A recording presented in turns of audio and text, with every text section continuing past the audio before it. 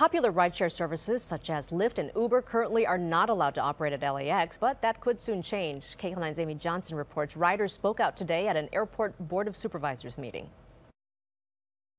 thank you for hearing my comments, and I hope that you approve us to pick up at uh, LAX. One by one, speakers requested that LAX allow transportation network companies or TNCs like Uber, Lyft, and Sidecar to pick passengers up at LAX, just like taxis, shuttles, and limos. Please implement a non-exclusive license agreement for TNC service to and from LAX. The public comments came before a packed Board of Airport Commissioners meeting. Currently, those TNCs are only allowed to drop off passengers at the airport, not pick them up.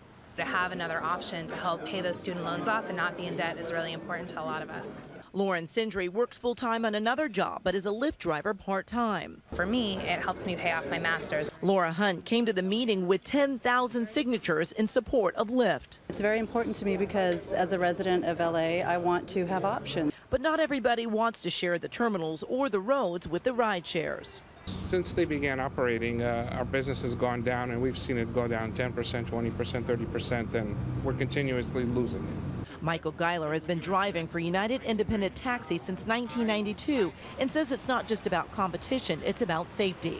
We operate under a very tight rule base, and the TNCs have called themselves disruptors of the industry, and so they don't want to participate in this. They don't want to.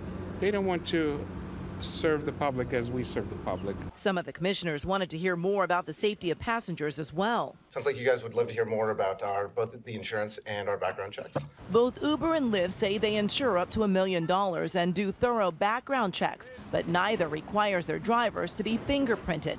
LAX has set up recommendations for the TNCs, but the board did not make a decision today. They'll meet again next month. At LAX, Amy Johnson, KCAL 9 News.